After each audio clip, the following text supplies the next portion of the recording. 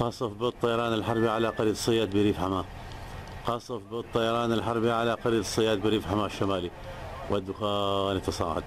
24 9 2016